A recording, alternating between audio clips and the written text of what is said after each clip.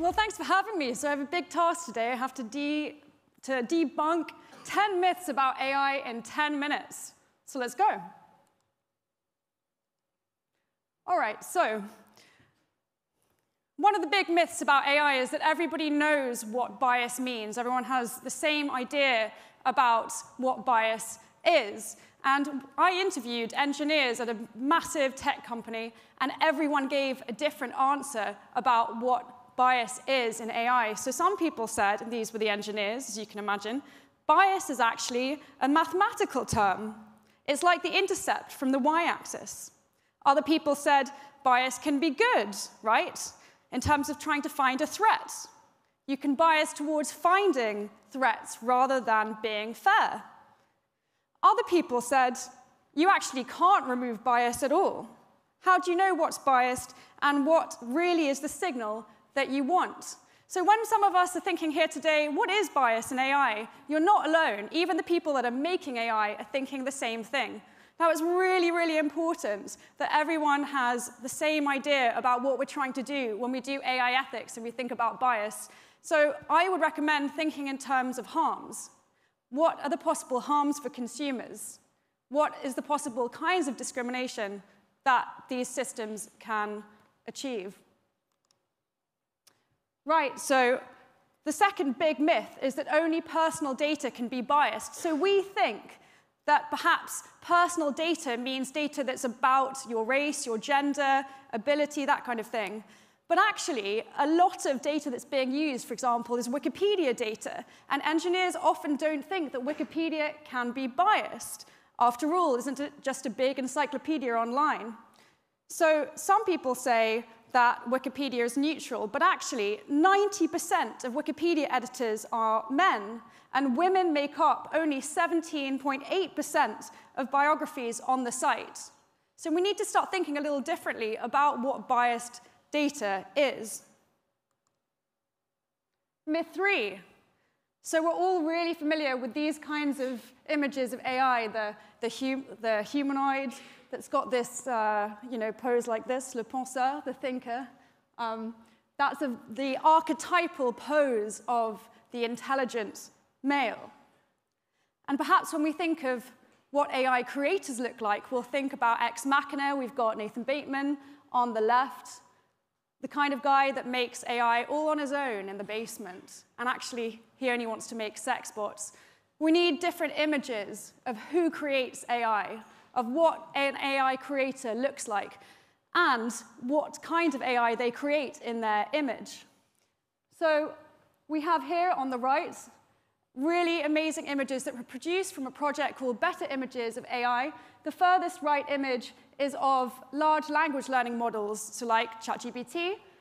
They are text.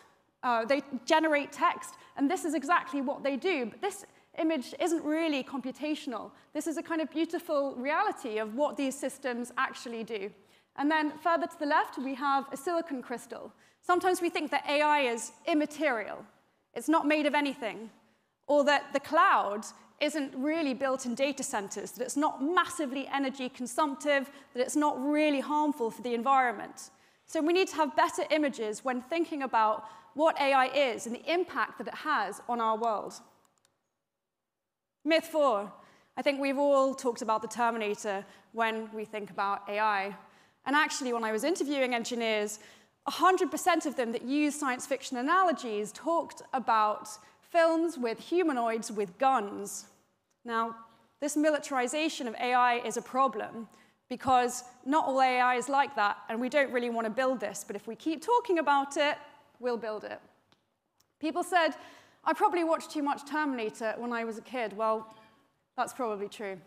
I've been working with the UK government's Office of AI to try and make AI and its capabilities more explicit in the way that they're communicated to the public. This means not hyping AI so that it all seems like the Terminator, but it also means communicating its limitations, what it can't achieve, as well as what it can.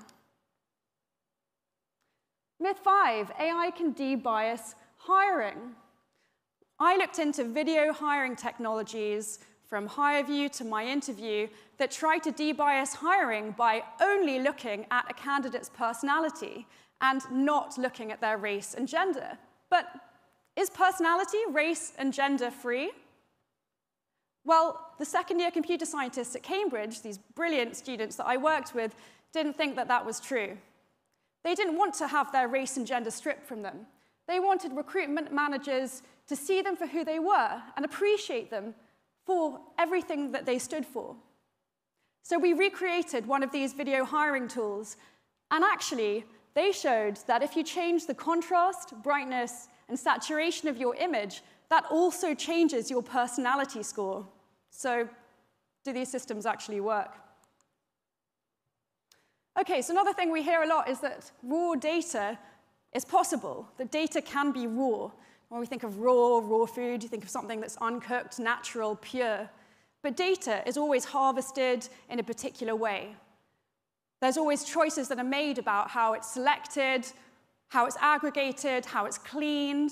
There's that language of cleaning data that's used a lot. Those are all political choices. There's an amazing book called Data Feminism by Catherine D'Ignazio and Lauren Klein about how feminist methods can make the use of data better, which shows that feminist ideas can make a massive difference when it comes to something very specific and practical like data. Okay, compulsory GPT slide. So, another myth that GPT is customer facing ready. I think many of you know that that's probably not the case. If you think there are risks, then you're probably right. Even Sam Altman said, if it's still flawed, still limited, and it seems more impressive on first use than it does after you spend more time with it. So you have these kind of parlor tricks at the moment where people are making fun alarm clocks with different kind of generated poems on them. That's all great and good, but as Brett Carlin said, when AI can be a depressed, sad sack who pushes everyone away, then I'll be impressed. I've talked to lots of people who work in marketing, branding, law, about the use of GPT. Students at Cambridge are using it, apparently 45% to support their essays. If you're using it as something to prompt ideas, that's great. But again, if you're putting these things out there for customers to interact with, that comes with its risks. Myth number eight, AI can predict the future. Well, this is an issue because the UK government has now spent £5 million on a technology called Dataminr that is a kind of predictive policing software that tracks and monitors protests and that claims that it can detect when a crowd of people is likely to turn violent. But how do you know which crowd will become a dangerous protest? Well, this technology was trained on Black Lives Matter protests in the States, and it's more likely to flag crowds of people with signs that say justice for Freddie Gray or hashtag BLM or defund the police as likely to turn into a violent protest.